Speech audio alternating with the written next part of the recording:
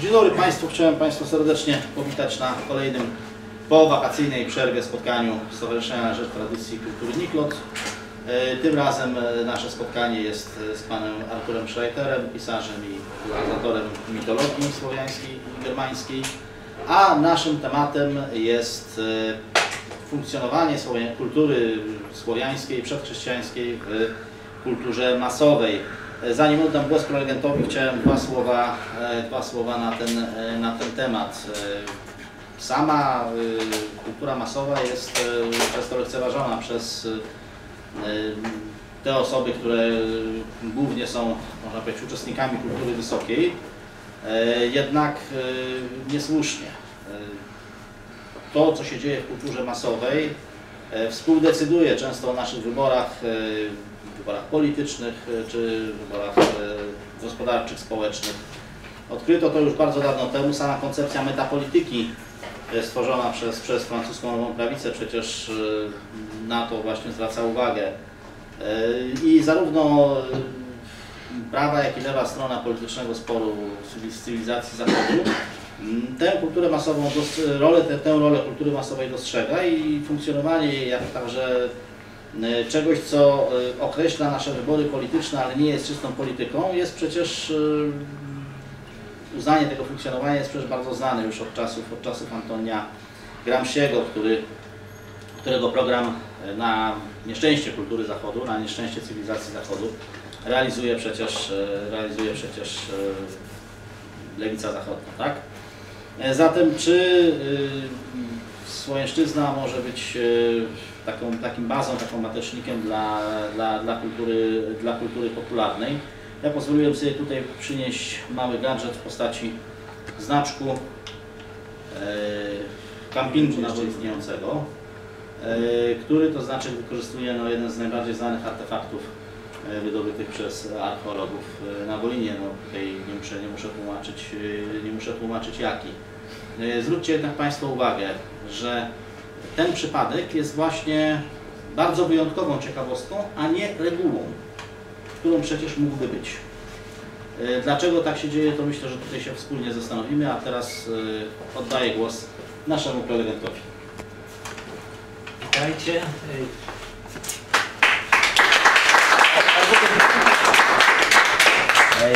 Mm, Przygotowałem dzisiaj trzy króciutkie tematy i czwarty taki przede wszystkim nawiązujący do tego, co Pan Tomek powiedział.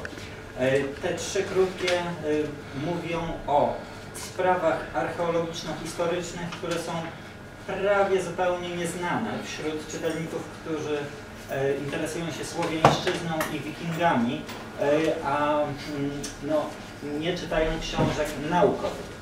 A czwarte to właśnie y, niby ten ogólny temat naszego dzisiejszego spotkania, czyli przełożenie tego na kulturę masową. Dlaczego tylko czwarte o kulturze masowej? Dlatego, że e, przełożenie dawnych Słowian na dzisiejszą tak zwaną kulturę popularną jest tak mierne, że to jest 5-10 minut mówienia. Więc postanowiłem zacząć od zupełnie innych spraw. Wyobraźcie, pierwsza z tych spraw, e, wyobraźcie sobie VIII wiek naszej ery i terytorium nad Morzem Bałtyckim. Siedzą tam e, e, trochę dalej Norwedzy. Natomiast na południowej części Bałtyku, wybrzeża Bałtyku są Słowianie, ale bardzo różni Słowianie. To nie jest tak, że jeśli się pojedzie na wybrzeże gdańskie, to będą ci sami Słowianie, którzy są, y, którzy siedzieli y, w, na obszarze pomiędzy ujściem Odry y, w, a w, dzisiejszą podstawą Półwyspu Judrowskiego. Oni się między sobą bardzo różnili, tworzyli różne struktury społeczne i nie tylko społeczne, ale też gospodarcze i polityczne. I oni się napieprzali między sobą równo. To nie było tylko tak, że my Słowianie broniliśmy się przed e, naporem wikingów. Nie, to było tak, że każdy z każdym walczył. Do pewnego momentu to było tak, że wieś z wsią walczyła. Dopiero około VIII wieku zaczęły się tworzyć jakieś większe organizmy, nazwijmy to tak, wczesnopaństwowe. I one obejm... dzisiaj y, patrzymy na państwo jako na wielki twór. Nie, wtedy wczesne państwo to było, e, to był obszar kilkadziesiąt na kilkadziesiąt kilometrów, zwykle na czele z jakimś księciem, z jakiegoś szlachetnego miejscowego rodu, e, ale mogły być też państwa zupełnie bez książąt, jak na przykład na Wolinie, gdzie była Republika Kupiecka. No i y, te państwa Słowian nadmorskich, nadbałtyckich w VIII wieku weszły w bardzo ścisłą współpracę ze Skandynawami oraz z Bałtami. Nie zapominajmy, że dzisiejsza północno-wschodnia Polska była zasiedlona przez Bałtów. Tam nie było Słowian. Byli Prusowie i inne ludy bałtyckie. Były też ludy fińskie, które y, zamieszkiwały wschodnią część y, połaci Bałtyku, wybrzeży Bałtyku. I one w pewnym momencie weszły ze sobą w bardzo ścisłą współpracę gospodarczą. Czym ona się przejawiała? Że nagle zaczęły powstawać przy parę kilometrów lub kilkanaście lub dwadzieścia parę kilometrów od ujść malutkich rzeczek do Morza Bałtyckiego tak zwane miejsca wymiany. One zaczęły powstawać zarówno w Skandynawii, jak i na terenach słowiańskich, jak i na bałtyckich i fińskich. I tam przyjeżdżali ludzie z drugiej strony Bałtyku, przywozili to, co mieli do wymiany, a ci, y, dajmy na to, Słowianie z południowych, jeździli na północną stronę Bałtyku i tam też były miejsca wymiany. Doszło do stworzenia czegoś takiego jak y, nadbałtycka, to oczywiście dzisiaj archeolodzy tak to nazywają, nadbałtycka strefa wymiany gospodarczej. Y, Ktoś to zaśmiał się i powiedział, że to była pierwsza Unia Europejska. No, coś w tym było. Tylko tyle, że to była tylko na poziomie Późniejsza gospodarczym. y, No nie, to zupełnie coś innego, jeśli chodzi o system. Oni tam przyjeżdżali, wymieniali towary, po czym co robili? Następnego roku przyjeżdżali i łupili to. Raz im się udawało złupić, raz nie udawało. Czyli mamy do czynienia z czymś takim. Ci sami ludzie handlowali ze sobą i ci sami ludzie walczyli ze sobą. To zależało od tego, jakie były uwarunkowania polityczne w danym roku. Czy bardziej opłacało się handlować ze sobą, czy bardziej opłacało się walczyć. I teraz tak, rzecz bardzo mało znana w Polsce. E, Dlaczego w pewnym momencie od VIII do X wieku połowa Skandynawii została zajęta przez Słowian? VIII-XII wiek to jest tak zwana e, epoka wikingska, czyli wikingowie płyną zarówno na Ruś, jak i na zachód Europy. To się... Pytania, uwagi po. po. E, I następuje olbrzymi odpływ ludzi ze Skandynawii. Połowa Danii staje się pozbawiona osadnictwa, dlatego że przynajmniej 100-150 tysięcy ludzi, co jak na tamte warunki, to była połowa kraju, wyruszyło do Anglii i się tam osiedliło. E, I brak rąk do pracy. Bardzo prosty czynnik gospodarczo-społeczny. Pewnym momencie okazuje się, że zabytki słowiańskie są przez archeologów duńskich odkrywane na połowie ziem duńskich.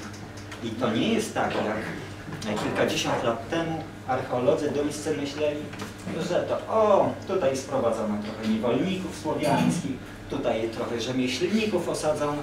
Nie okazało się po bardzo wielo, długich badaniach wieloletnich archeologicznych, że całe obszary Danii były całkowicie pokryte osadnictwem słowiańskim. I w pewnym momencie był to problem, bo Słowianie zaczęli się tam rządzić. I do XII wieku Duńczycy na niektórych obszarach Danii nie potrafili sobie z tym poradzić. Te, mm, południowy obszar wysp duńskich, Lolland, Falsterman, to wcale nie małe wyspy, był całkowicie zasiedlony przez Słowian i do połowy XII wieku Dania nie była w stanie objąć kontrolą polityczną tych wysp.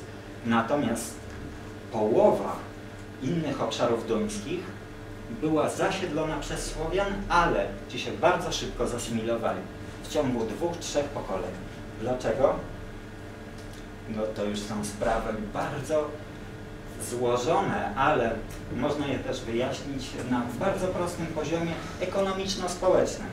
Yy, Popatrzmy, ile set tysięcy Polaków yy, dzisiaj żyje na zachodzie Europy. Yy, I ile z nich jeszcze czuje się Polakami?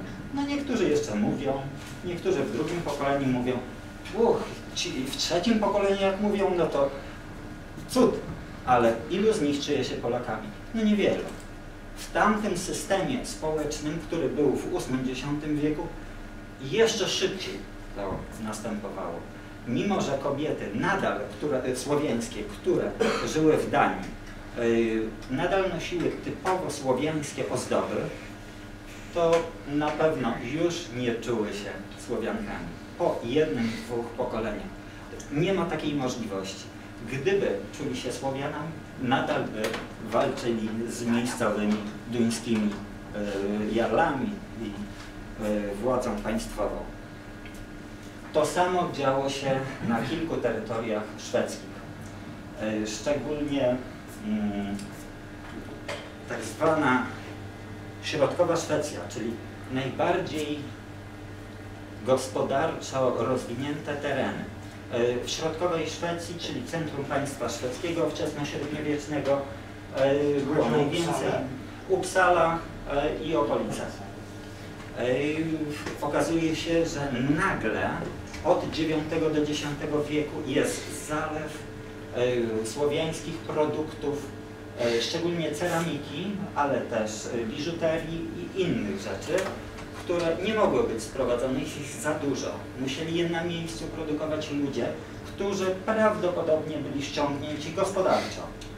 Ej, Jak te procesy zachodziły, trudno dziś powiedzieć. Ej, Na pewno nie był tak, jak to było w przypadku Danii, zalew ej, mnóstwa ludzi, którzy chcieli rządzić.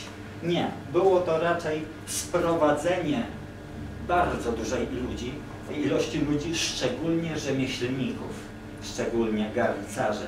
Otóż w IX wieku następuje w całej Skandynawii upadek garncarstwa. Wyobraźcie sobie, że to było na, największa, mm,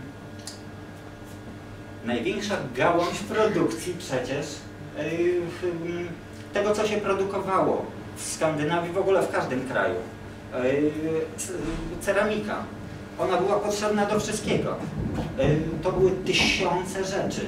Yy, I Skandynawowie przestają produkować swoją ceramikę w prawie całej Skandynawii. W prawie całej Skandynawii jest tylko ceramika słowiańska. Nieprawdopodobna.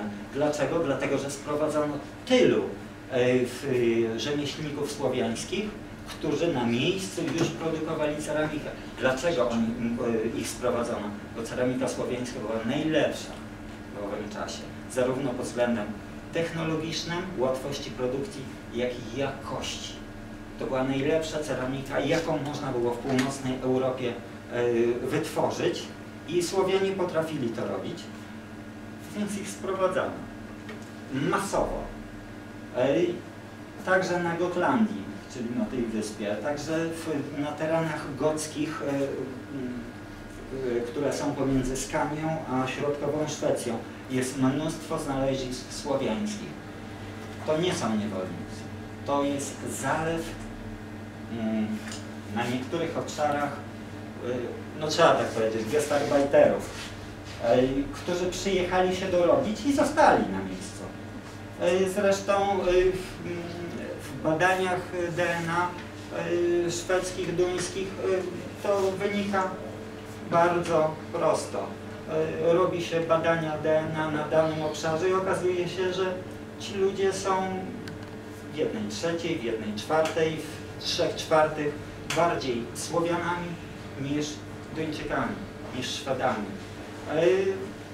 A że tak naprawdę w tamtym czasie antropologicznie czyli wzrost, y, kolor włosów, Słowianie y, zachodni, czyli z naszych terenów. Tak bardzo nie różnili się od Skandynawów, więc przemieszanie szło bardzo szybko. I i teraz tak, dlaczego o tym tak mało wiadomo w Polsce? Ej, Dlatego, że to głównie kopią archeolodzy duńscy i szwedzcy. Ej, I w- te badania do pewnego momentu szły bardzo dobrze, dopóki Duńczycy i Szwedzi nie zorientowali się, że cholera coś tutaj nie gra. To nie są e, śladowe ilości niewolników, to nie są śladowe ilości takich e, punktowo umieszczonych gestalbajterów. Nie, to jest zalew. To jest zalew olbrzymich ilości ludzi i nagle przestali to badać. To e, kilkanaście lat temu e, się skończyły te badania e, i oni już nie łożą pieniędzy na to. E, s- Profesor Bluczko, e, który siedzi od lat w Uppsali, e, teraz też e, bywa często w Polsce, mówił mi na ten temat, że e, słuchaj, to, to jest tak, że oni są strasznymi nacjonalistami. E, Oni nie chcą dopuścić e, do siebie, że w pewnym momencie połowa Skandynawii była słowiańska. Natomiast bardzo im się podoba pomysł, że oni bardzo szybko wchłonęli tych Słowian, oprócz tych, którzy mieszkali na południu Wysp e, Duńskich, bo te, to południe aż do XII wieku było niezależne od Danii. Tylko to im się podoba, natomiast nie chcą w ogóle nic pisać w tej chwili o wiekach 8-10, bo połowa Skandynawii była słowiańska. E, I tego nie znajdziecie w żadnych popularno-naukowych e, opracowaniach w Polsce. Nikt na ten temat nie pisze. I ja mam taką umowę z Duszko, że on zbierze wszystko, co było wydane w Skandynawii e, i ja z, za jakieś dwa lata temu napiszę na ten temat książkę. I to będzie chyba jedyne na świecie opracowanie tego, jak to rzeczywiście wyglądało. No ale to wcześniej muszę inne rzeczy zrobić. On też musi mieć czas, żeby te wszystkie y, badania zebrać.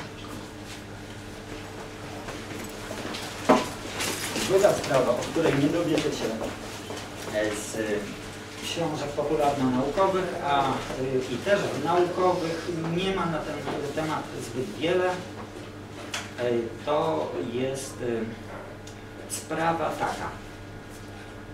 W szkołach y, uczy się, że były dwa mm, tereny, gdzie powstawało, teoretycznie powstawało państwo polskie. Wielkopolska i południowo, e, południowo-małopolska wokół e, Krakowa.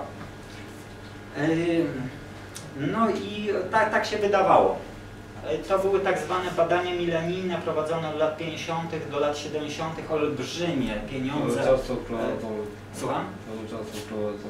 E, Badania milenijne nie są prowadzone od lat 70. E, Teraz są tak zwane badania nowomilenijne, zupełnie inaczej prowadzone i przez kogo innego.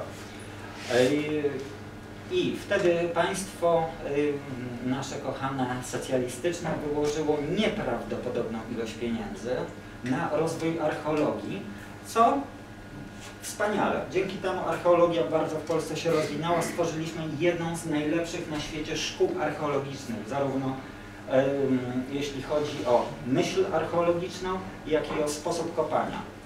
Anglicy się od nas potem uczyli tego, jak kopać e, bardzo dobrze. Ale e, wtedy stworzono wizję państwa polskiego taką, że były tylko te dwa ośrodki, jeden krakowski nie przetrwał, dlatego że najpierw Wielkie Morawy, a potem e, Czesi go podbili, natomiast tylko e, ośrodek wielkopolski wokół Gniezna, Poznania e, przetrwał i potem zjednoczył Polskę.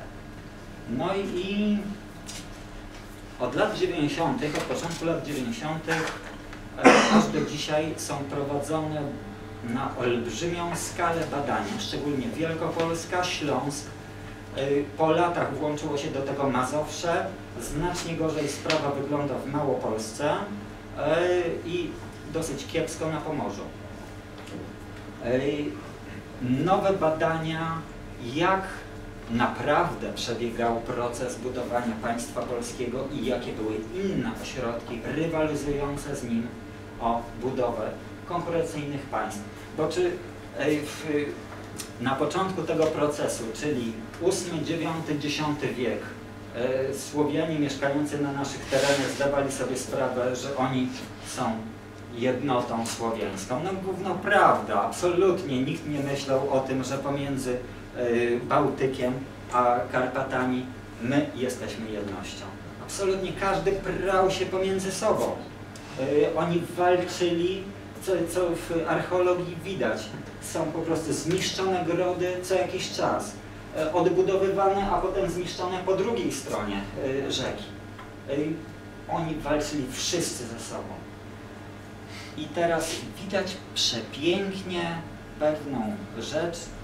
Otóż w drugiej połowie IX wieku, a tak naprawdę pod koniec y, IX wieku, dochodzi jednocześnie do kilku nieprawdopodobnych sytuacji. Zostają zbudowane, zostaje zbudowanych kilka ośrodków władzy. Jeden wokół Gniezna, który nie był grodem, y, tylko aż do połowy X wieku był pogańskim sanktuarium, olbrzymim zresztą, wokół Gniezna i Poznania i Giecza. I tam jeszcze był Ostrów Legnicki i Grzybowo, pięć wielkich grodów. Drugi, też pod koniec IX wieku, nad jeziorem Gopło, tak zwani popielidzi, y, tylko że jeszcze Krusz- Kruszwica nie istniała, bo Kruszwica została zbudowana y, przez Mieszka I pod koniec X wieku, natomiast na południowym skraju jeziora Gopło było, y, było olbrzymi gród, y, dzisiaj zwany Mietlica. Być może on też Mietlica się nazywał wtedy. On stanowił jądro państwa, które istniało tam nad jeziorem Gopło, być może obejmowało całe Kujawy. Następnym centrum było nad Parsentą. To jest też koniec IX wieku. Nagle powstaje państwo z centrum najpierw y, w Bardach Świelubiu, a potem w Kołobrzegu i ono się rozrasta. W tym samym czasie, dosłownie w tych samych latach, Mazowsze Y, Myślano, że Mazowsze y, nic nie znaczyło, że to było kilka małych plemion, które były od siebie odseparowane. Otóż nie. Y, Pomiędzy latami 880 a 915 to wszystko są badania, skąd my to wiemy? To są badania tak zwane dendrochronologiczne, czyli bardzo dokładne badania drewna, y, y, liczenie przyrostów słojów drewna w porównaniu z tak, takimi chronologiami przyrostów słojów poszczególnych rodzajów y, drzew dla danych obszarów Europy. Dzięki temu można dokładnie określić, w, o której, w którym roku, o której porze roku dane drzewo zostało y, zrąbane y, i potem je sezonowano rok, dwa, trzy i zbudowano z niego na przykład gród i wi dokładnie wiadomo, kiedy ten gród został wybudowany. To jest dendrochronologia. I pomiędzy 880 a 915 nagle na Mazowszu zostało w tym samym czasie, wiadomo, w ten sam sposób, tą samą techniką zbudowanych kilkanaście grodów, które obejmowały zachodnie i środkowe Mazowsze.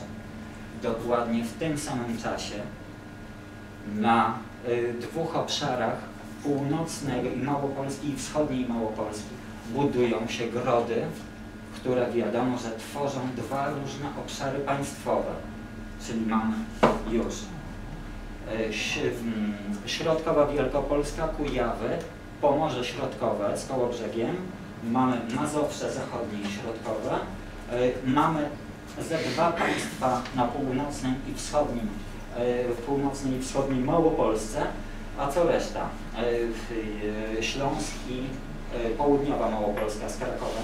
No tam nic nie ma. To znaczy jest mnóstwo grodów, jest mnóstwo plemion, tylko że one nie rozwijają się samoistnie. Dlatego, że e, do początku X wieku e, oba tereny są zależne od e, Wielkich Moraw, czyli państwa wielkomorawskiego, a od połowy X wieku, mniej więcej lata 945-950, aż do 980-90, no to dokładnie nie wiadomo, oba tereny należą do Czech. Więc tam nie ma mowy o rozwoju własnych państw. Ale mamy nagle okazało się, że wbrew badaniom milenijnym z czasów komunistycznych mamy równoczesne powstanie pod koniec IX wieku, raz, dwa, trzy, cztery, sześciu ośrodków państwowych na terenie niezajętym przez Czechów yy, słowiańskim, powiedzmy Polski, ale wtedy nikt nie myślał tymi kategoriami. Oni zaczęli budować państwa i zaczęli się ze sobą napieprzać w sposób nieprawdopodobny następne kilkadziesiąt lat, aż do yy, właściwie do lat 70. X wieku, czyli już Polska jest po chrzcie, yy, yy, następuje cały okres podbijania przez Piastów, czyli zwycięża tylko jeden ośrodek, ten wokół Gniezna i Poznania. On podbija wszystkie inne te grody są niszczone, ludność przesiedlana. E, jeśli ktoś z Was interesował się historią starożytną, a nawet nie starożytną, wystarczy historia stalinowska. Jeśli podbija się nowe tereny i nie chce się, żeby ludność wszczynała bunty, co się robi? Przesiedla się tych ludzi. Bardzo prosta metoda.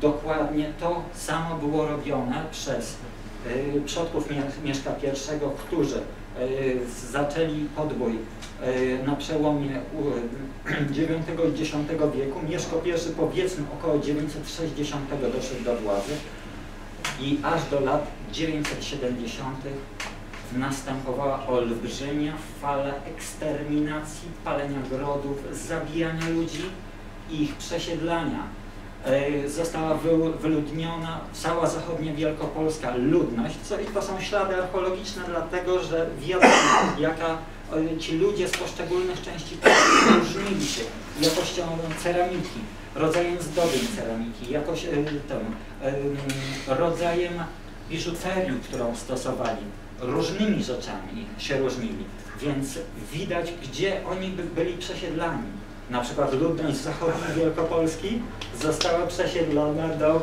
południowo-wschodniej Wielkopolski. Mm, e, e, też wiadomo, że na te tereny przesiedlono bardzo wielu ludzi, z którymi pierwsi piastowie walczyli na Pomorzu i za Odrą, dlatego że ich kultura nagle pojawia się w samym środku Polski. Całe wsie mają kulturę ludzi, którzy zostali y, w czasie wojen przez Mieszka na przykład podbici i przesiedleni do środka Polski. Dlaczego przesiedleni? Dlatego, no, żeby tutaj siedzieli pracowali na nas. Proste. Y, względy ekonomiczne. Y, zostały zbudowana cała sieć nowych grodów na miejsce tych spalonych, ale prawie nigdy na miejscu tych spalonych. Po prostu zbudowano nowe grody, dużo potężniejsze, które strzegły podbitych terenów. I tak zbudowano państwo polskie. Tego nie znajdziecie w żadnych opracowaniach, e, ani szkolnych. Moje dziecko o tym się nie uczy, na znaczy dziecko, już 18 lat ma. E, nigdy się o tym nie uczył. I e, ta wiedza przejdzie do wiedzy szkolnej, ale zawsze to na, mniej więcej mija około 20-30 lat, nim wiedza prawdziwa, ta y, udowodniona naukowo, archeologiczna, nim ona przechodzi do wiedzy szkolnej, mija 20-30 lat i wtedy będzie już kompletnie bezużyteczna. Dlatego, że za 20-30 lat będą nowe odkrycia, które też zmienią naszą dzisiejszą wiedzę. Y, I teraz trzecia sprawa. Dlaczego w tym IX wieku nagle, y, pod koniec IX wieku, na wszystkich obszarach Polski, dzisiejszej Polski, doszło do olbrzymich przemian, które spowodowały powstawanie tych terenów, które jednoczą y, okoliczne ziemie. No co mamy pod koniec IX wieku?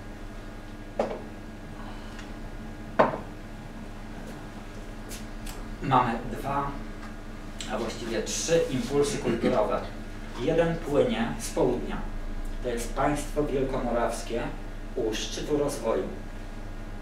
Ono podbija wszystkie okoliczne ziemie, łącznie z południową Polską E, I widać nieprawdopodobną ilość e, zabytków e, i myśli kulturowej, bo to jest jedna z najważniejszych rzeczy. Myśl kultu- kulturowa zawsze była ważniejsza od importu rzeczy. Ona przekształcała sposób myślenia ludzi, którzy nagle stwierdzali, o kurczę, jak tym na południu się powiodło, zbudowali grody, zrobili taki system y, społeczno-polityczny, dlaczego my mamy tego nie zrobić? I tak robiono w kilku miejscach. Druga rzecz, są olbrzymie przemiany w kalifacie arabskim. E, Dochodzi, do w władzy dochodzi inna y, dynastia, inni ludzie nastawieni na luksus. E, Oni chcą luksusowych towarów z północnej Europy. Chcą futer, które są kompletnie nieprzydatne w ich, w, w ich klimacie, ale futra y, wśród ówczesnych Arabów oznaczały, że oni są tak bogaci, że kurwa z końca świata sprowadzą sobie sobole. Oni chcą bursztyn, oni chcą luksusu.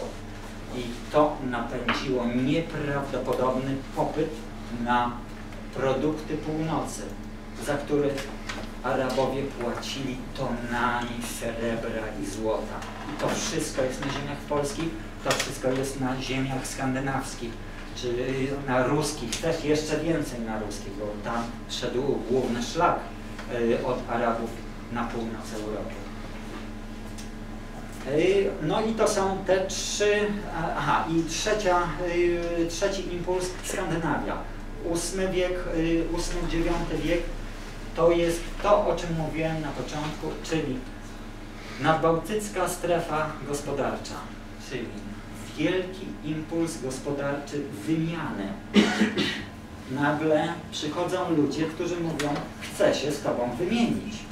To jeszcze nie były czasy pieniądza. Y, Pieniądze, y, wtedy mieli mnóstwo pieniędzy, szczególnie arabskich, tylko nie używali ich do płacenia. One były jako, też jako produkt wymiany, dlatego cięto je na pół, na jedną czwartą i ważono. Y, Towarem obrachunkowym y, był, była waga srebra. Y, I z, z tym srebrem wagowo, nie pieniężnie, płacono za towary lub wymieniano się towarami. I ta rzecz, chcę się z Tobą wymienić, Ty mi daj coś, ja Ci dam coś innego, co Ty chcesz, spowodowało to, że pod koniec IX wieku doszło na terenach Polski, gdzie była troszkę inna, oprócz Pomorza, bo właśnie Pomorze weszło w tę wielką strefę wymiany e, nadbałtyckiej strefy gospodarczej, ale inne tereny Polski, Wielkopolska, e, Mazowsze, Małopolska i Śląsk weszły w trochę inną fazę rozwoju. Okazało się, że ci, którzy wcześniej byli miejscowymi władykami, takimi janosikami, i mieli 10 ludzi pod sobą, a tutaj napadniemy na sąsiednią wieś. Trzy krowy zabierzemy, dwie kobiety zgwałciły, a fajnie było. Teraz doszli do wniosku, że a co by było, jakby miał 100 ludzi? A, i jeszcze mógł wymieniać towary, które złupie u sąsiadów, a jak jest 100 ludzi, to już nie tylko jedną wioskę złupie. Złupię 10 wiosek i zdobędę sąsiedni gród. I te wszystkie towary wymienię na coś, co przepływa y, z rzekami z nad Morza Bałtyckiego, albo na towary luksusowe, które idą z Arabii. I w ten sposób zaczęły powstawać większe władztwa. Y, Ja nie mówię, że to szło tylko y, w, torem rzeczy materialnych. To też, też była bardzo ważna sprawa prestiżu. Otóż y, wyobraźcie sobie, że jest naczelnik, który ma pod sobą 100 ludzi, a jak mu dobrze pójdzie, to będzie zaraz miał 200. Tu zdobył jeden gród, tu drugi, obsadził swoimi ludźmi, ma już 15 wiosek i w pewnym momencie przychodzi coś takiego. Tu już nie chodzi tylko o zdobywanie srebra, krów, kobiet. Tu chodzi o prestiż. I w pewnym momencie dochodzi do czegoś takiego, że wszystko, co dany władca zdobywa, rozdaje swoim drużynnikom. Prawie nic mu nie zostaje, ale on wie, że za rok zdobędzie więcej. dlatego że w momencie, kiedy siadają do uczty, on w czasie uczty, po zwycięstwie oczywiście, bo przegranej jaka uczta, przecież wszyscy by już nie żyli, po zwycięskiej uczcie, na zwycięskiej uczcie siadają i on rozdaje zdobycze temu, temu, temu, każdemu drużynnikowi. Pod koniec wieczoru zostaje bez niczego. Ale to nic, bo i tak ludzie na niego pracują. A za rok wyrusza na kolejną wyprawę, zdobędzie trzy razy więcej, dlatego że do kolejnego roku przyjdzie do niego trzy razy więcej ludzi. Bo wszyscy wiedzą, jaką, jaki on ma prestiż i że wszystko rozdaje. Tak budowano władztwa, oprócz rzeczy materia materialnych, rzeczy prestiżowe. No i to były te trzy, trzy rzeczy archeologiczne, yy, yy, o których się nie dowiecie z książek. Yy, dlatego, że książek popularno-naukowych w Polsce, jeśli chodzi o wczesne średniowiecze, prawie nie ma. Yy, jest paru autorów, którzy co jakiś czas coś wydają, Yy, ale to są książki niedochodowe, no bo kilka tysięcy sprzedanych książek no, nie starcza na to, żeby piwo sobie kupić w knajpie. Więc każdy z pisarzy popularno-naukowych e, robi to społecznie, że tak powiem. E, Tak jak połowa kultury, to pan Tomek może powiedzieć, połowa kultury w Polsce działa społecznie. Także o wielu rzeczach nigdy się nie dowiecie z książek popularno-naukowych, one będą tylko w naukowych i nie, nie będzie komu tego przekazać, chyba że stworzymy zupełnie inny system społecznego przekazu kultury informacyjnej, znaczy informacji kulturalnej oraz informacji społecznej, informacji historycznej. Wątpię, y, żeby y, PiS to zmienił. Y, Są tak samo fatalni jak PO. Trzeba by jakiejś kompletnie innej formacji społeczno-politycznej w Polsce, która by rozumiała potrzebę budowania poprzez pozytywny przekaz. Pozytywny przekaz nie tylko o tym, co dzisiaj się dzieje, także o tym, co kiedyś się działo. Yy, Nie widzę takiej yy, formacji w Polsce i chyba się jej kurczę nigdy nie doczekam. Yy, No ale to inna sprawa. I teraz czwarta rzecz, czyli to, co no, spisałem, ja się nie dowidzę. Spisałem sobie kilka nazwisk autorów, których warto przeczytać. Książek, y, przede wszystkim są to powieści, zbiory opowiadań, ale y, y, z różnych dziedzin związanych z przekazywaniem wiedzy o dawnych Słowianach lub dawnej Polsce.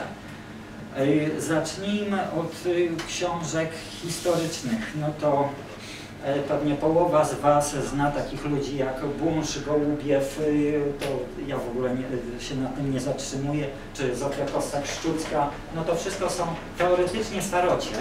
E, I, I większość z nich już nie ma e, większego, większej wartości ani literackiej, ani przekazu treści. E, bo one się po prostu zestarzały. E, Jak parę lat temu chciałem przeczytać jeden tom Bunsza, e, to, to byłem e, załamany, dlatego że jak, dziecia, jak byłem dzieckiem w latach 70. czytałem Bunsza, to było cudowne. Teraz czytam, tego się nie da czytać. No niestety literacko kompletnie się to zestarzało. E, A czy znowu, aha, jeszcze z takich staroci, sta, staroci, to z takich e, dwóch bardzo mało znanych e, pisarzy, to Jerzy Rychliński, Saga o Jarlu i Piastuwnach. To ciekawa rzecz. E, Dzisiaj ją, już ją się kiepsko czyta, ale podejmowała bardzo fajny temat, czyli e, tak zwaną sagę o Jomsborgu e, i o Jomswikingach, czyli e, jak wikingowie współegzystowali na e, Pomorzu Zachodnim ze Słowianami. I druga rzecz e, Michała Synorackiego, Wyzymisz żeglarz. A to już kompletnie odjechana rzecz. e, w- późnym średniowieczu y, Kadłubek napisał, że Lech miał syna Wizymirza y, i coś tam, tak, wymyślał, kompletnie wymyślał. No i ten autor napisał biografię tego Wizymirza żeglarza, jak on się tu z Duńczykami, ale w formie powieści, więc można to jakoś przeczytać, jeszcze przełknąć. Natomiast z dzisiejszych pisarzy, którzy mm, y, pod względem y, historycznym zajmują się y, pisaniem powieści o pierwszych piastach, ja jeszcze nie mówię o fantastyce, tylko o typowo historycznych rzeczy, y, rzeczach, jest właściwie tylko Herezińska. Y, I tutaj ona jest cholernie nierówna. Y, Najpierw napisała y, książki o wikingach, taką sagę dziejącą się w Skandynawii. To było bardzo przyzwoite. Jak imię? Chyba Elka, Elżbieta. Herezińska. Herezińska przez CH. wspomniał Pan o niewolnictwie wcześniej. Chcielibyśmy, Ale, ale nie, nie, nie, może niech pan A, dokończy. No. pytania- A no dobra, to ja skończę, a potem Tak, sobie potem pytania będzie, tak? E, I ona bardzo nierówno pisze, bo na przykład e, jej książka, jak ona się nazywała, czyta e, Gra w kości o czasy Ottona i Bolesława Chrobrego. No książka, założenie historyczne, które tam jest, jak każde założenie. E, Teoria może być teorią, e, ja tutaj się do niczego nie czepiam. Ma takie spojrzenie, proszę bardzo. Natomiast książka literacka jest słaba. No kurczę, tak słaba, że tak świetny temat, tak źle zrobić. Coś nie to. Przepraszam, w czym przeszkadza, że książka jest literacko słaba? Y, Bo to jest powieść. y, Ale jakby do czego Pan zmierza? Y, Jakby, jakby co jest jakby celem Pana wypowiedzi, mówiąc, że literacko słaba? Jakby co chce Pan przekazać ludziom? E, Rozumiem. E, Otóż powieść ma zupełnie inne, zupełnie inny cel niż książka popularno-naukowa. Książka popularno-naukowa ma e, cel taki, żeby w przystępnej formie przekazać jak najwięcej wiedzy. Powieść, oprócz tego, że ma przekazać jakieś spojrzenie autora na dane czasy, ma też być dobra literacko, bo jest powieścią do cholery ma być ładnie napisana, dobrze napisana, ma pokazywać, że to jest literatura piękna. Ja przyznam, że cie- cieszę się, że mamy w ogóle y, jakieś pozycje, y, z których można czerpać. y, Tak, i, i podchodząc do tego w ten sposób rzeczywiście też się cieszę, że w ogóle mamy jakieś powieści. Y, Natomiast ta powieść jest ewidentnie zła. Przepraszam, pan Zbigniew Nienacki jada go. Ale do tego przejdziemy. E, I, natomiast teraz Herezińska zaczęła wydawać e, koronę śniega i e, śniegu, i- e, śniegu i krwi, tak? Tego jeszcze nie czytałem, to chyba ze dwa tomy wyszły. E, Recenzje ma bardzo dobre, więc chcę przeczytać, ale nie czytałem jeszcze. E, A te, I to właściwie e, koniec e, tych pisarzy, którzy piszą typową historyczną prozę. E, Dlaczego? Dlatego, że w Polsce w tej chwili najbardziej popularną, y, jak i na świecie, jest fantastyka, fantasy. E, Odmianą fantasy jest fantasy historyczna, którą kocham. E, I fantasy historyczna ma pewne założenia. To znaczy, piszemy tak, jak było naprawdę wtedy, czyli ogólną otoczkę. Panował dany król, były dane miasta, nie wymyślamy ogól, ogólnych rzeczy, y, bo ogólne rzeczy mamy dane. Natomiast do tego wkładamy czary, y, rzeczy wynikające z religii, potwory. I to jest fantazja historyczna. I tutaj mamy dużo rzeczy, y, przy czym 90% jest do wyrzucenia do kosza. Y, Mamy y, fantasy mm, słowiańską, która rozwija się od dokładnie 1990 roku. I tutaj też y, z niej y, większość nadaje się do kosza. Y, Z bardzo prostej przyczyny. W, lat, w pierwszej połowie lat 90. mało kto potrafił w Polsce pisać. Było kilku ludzi, którzy dopiero się uczyli. Wyjątkiem był Sapkowski, bo on Był już wtedy miał 45 lat i był doświadczonym człowiekiem, on wiedział jak pisać. Natomiast cała grupa polskich pisarzy fantasy, która wtedy startowała, y, jeszcze nie potrafili pisać, się uczyli. Y, I co ja mogę Wam polecić z fantasy historycznej, która moim zdaniem jest dobra zarówno e, jeśli chodzi o wiedzę autorów na dany temat, czyli na czasy wczesnosłowiańskie, jak i jest dobrze napisana. To przejedźmy parę rzeczy. Ej, polecam Rafała Zienkiewicza Skarby Stolinów. To jest pierwsza rzecz fantasy słowiańskiej, która się ukazała w Polsce 1990 rok. On, co prawda, Rafał się wtedy dopiero uczył pisać, ale to już ma cechy tak, takie, że można to bez, bez bólu przeczytać. Przy czym nie jest to umieszczone dokładnie w historii, dajmy na to X wieku.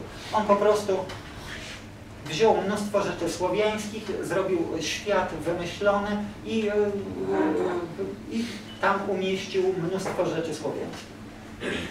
Czyli taka troszkę inna forma, to już nie jest fantasy historyczne, tylko fantasy czerpiące ze słowiańszczyzny. Właśnie, Zbigniew Nienacki. Nienacki troszkę wcześniej się ukazał od e, Skarbów Stolinów Rękiewicza, Dagome Judex, trylogia. E, No i z nią jest problem, dlatego że po pierwsze literacko jest to dno. E, Jest to najgorsza książka Nienackiego, jaką w życiu czytałem.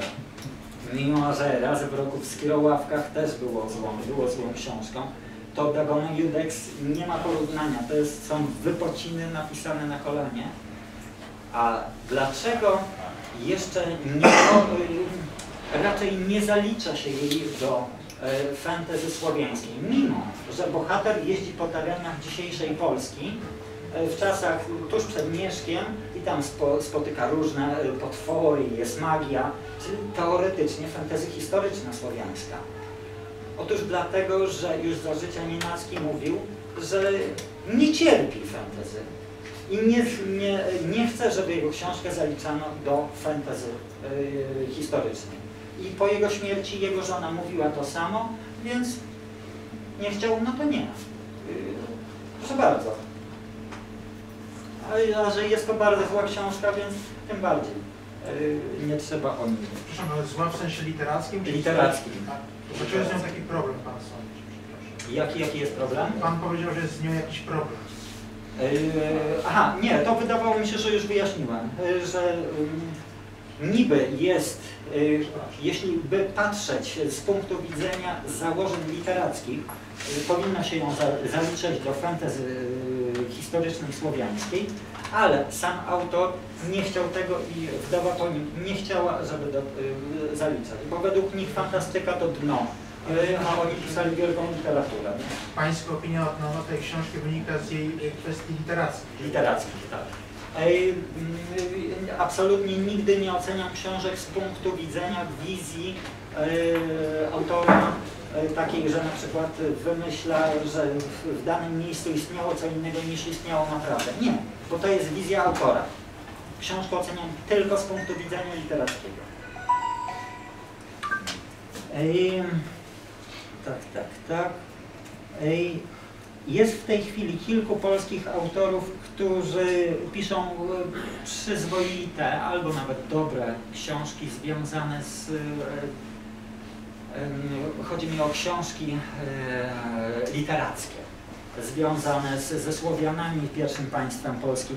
Na przykład Witold Jabłoński napisał Słowo i Miecz i e, z, dopiero co ukazał się drugi tom. E, To jest dobrze napisane, ładny język polski, a do wizji się nie mieszam. On co prawda, jemu zarzucają to, że on za bardzo najeżdża na kościół i z, y, mówi, że pogańszczyzna y, była wspaniała, a kościół był B. Ale według mnie no, to, to jest kurczę wizja autora. No, co, co można zarzucać człowiekowi, który pisze fantasy historyczne? No on ma taką wizję. A że literacko to jest dobra książka, no to świetnie. E, Inny którego e, w, a właściwie e, ja bym polecił jeszcze Rafała Dębskiego, e, kiedy Bóg zasypia. E, Co prawda nie jest to książka ani wybitna, ani nawet dobra, ale pod względem literackim, ale tam jest, tam jest ciekawie w tej książce. To nie jest ta- taka książka, że co chwilę będzie akcja, czyli nie poruszasz się bardzo szybko po książce, ale tam jest mnóstwo ciekawych rzeczy. Także polecam, choć ta książka ma złe oceny y, czytelników. Y, Natomiast y, Sławomira Mrugowskiego Strzygonia uważam, że to dno kompletne, literackie absolutne dno. E, Wita Szostaka, e, Poszarpane granie, to z kolei e, taka słowiańszczyzna dziejąca się niby w górach. Użyte tam mnóstwo rzeczy z folkloru górali polskich. I to jest z jednej strony świetnie zrobione, ale też jak to Wit Szostak, e, jak, tak jak w innych książkach, on pisze nudno, tak, że nie chce mi się tego czytać. Ale muszę przyznać, że literactwo jest dobre. I dwa nazwiska obce. Mm, Juraj Czerwenak. To jest Słowak piszący po czesku, dlatego że na Słowacji e, jest tak mało ludzi, że tam się książek prawie nie wydaje, więc pisze po czesku, żeby nie trzeba było tłumaczyć i od razu są wydawane po czesku. E, I w, w Polsce zaczął wydawać dwie serie, Władcy Wilków i Bohater. Pierwsza, Władcy Wilków, e, rozgrywa się przełom VIII-IX wieku na terenach słowacko-czeskich, e, kiedy upada, e, upada Imperium Awarów. To jest przygodowa. I e, ona nie ma wielkich e, ambicji literackich, ale jest dobrze napisana. I tutaj nie ma się e, do czego doczepić, ale też nie ma wielkich ambicji literackich, po prostu jest przygodową. I jako taka należy być oceniona. Bardzo przyzwoita książka. A drugi, e, drugi e, cykl Czerwenaka to Bohater. I to już jest zupełnie inna klasa pisarska. E, To, to, jest cykl rozgrywający się na Rusi X wieku, gdzie pokazane jest zarówno pod względem historycznym, jak i literackim wspaniała wspaniałe bogactwo kulturowe, e, historyczne e, no, tamtych terenów, gdzie mieszają się Słowianie, Finowie, e, Wikingowie, ludy stepowe. Znakomite. Ale z tego co wiem, niestety te książki nie sprzedają się w Polsce zbyt dobrze. Polacy lubią czytać tylko o Słowie, nie chcą czytać o Rusinach. E, Jest jeszcze Maria Siemionowa, Wilczarz.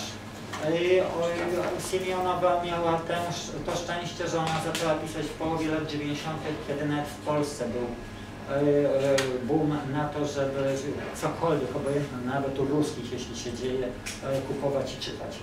E, A właśnie jej fantazy historyczne dzieje się u ruskich we wczesnym średniowieczu i od tamtej, wtedy zyskała sobie dobrą prasę i do dzisiaj jej książki nieźle się w Polsce sprzedają.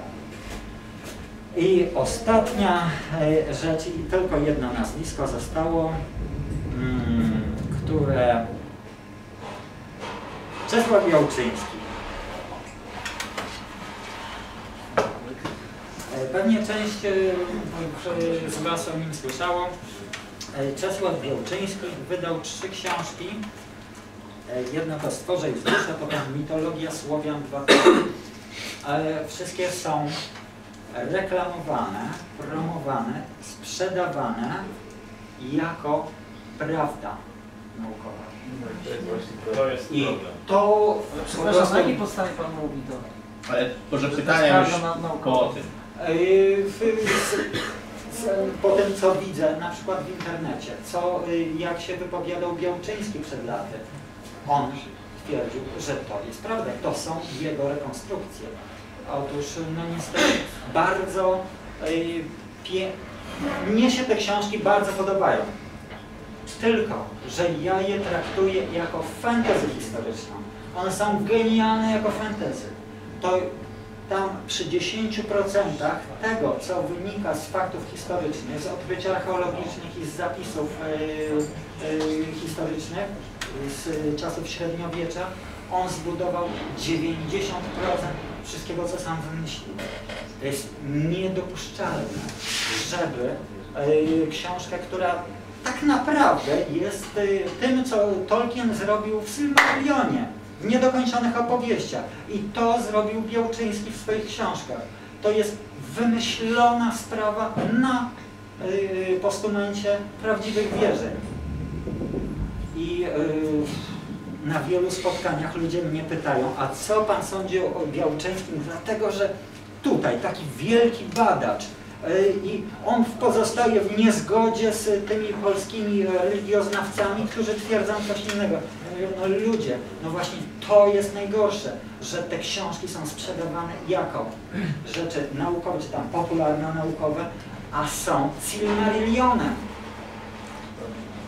E, No i to, to jest, e, ale mnie się te książki bardzo podobają. Tylko ja chcę, żebym ja wiedział jako czytelnik, że kupuję słowiański Silmarillion, a nie książkę popularno-naukową, dlatego że mnie jako czytelnika oszukuje się.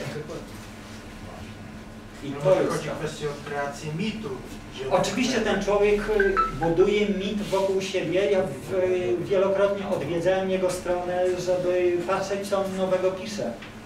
On ma olbrzymią stronę, gdzie ciągle publikuje nowości na temat y, wykopalisk słowiańskich, wierzeń słowiańskich, przeszłości Indoeuropejczyków. Y, Kiedyś we mnie to wy- wywoływało wzburzenie, teraz nie, teraz z ciekawości. Po prostu śledzę sobie i no śmieję się trochę, no. To, to są po prostu wymysły. Ja y, kiedyś byłem naukowcem, teraz jestem popularyzatorem nauk. Y, Jestem bardzo otwarty na wszelakie nowe teorie, wszelakie hipotezy. Tylko, że poruszam się w gronie ludzi, naukowców, którzy też są bardzo otwarci. Tylko tyle, że każdy z nich wymaga jednej rzeczy. Nawet najbardziej głupia hipoteza musi mieć jakąś podstawę. U Białczyńskiego podstaw nie ma. To wszystko wynika tylko z jego pomysłu. I to, I to właściwie tyle. Przegląd tego. To już bardzo dziękuję. I teraz na pytania. Tak, Jeszcze Konrad Lewandowski. A nie, no przewodarz. Rozmawiajmy o przewodasie. Ej, Konrad Lewandowski. Ej, Przewodarz je- jest kimś takim. E, Na początku lat 90. wziął kilka elementów e, z prawdziwych, z wierzeń słowiańskich e, i po prostu dołączył ich, je do e, własnej, e, do świata wymyślonego, dziejącego się gdzie indziej, nie w tych realiach naszych. E, To tak jak Sapkowski też wziął kilka rzeczy ze słowiańszczyzny, połączył je przede wszystkim nie ze światem germańskim, tylko ze światem stworzonym na baśniach braci, braci Grima.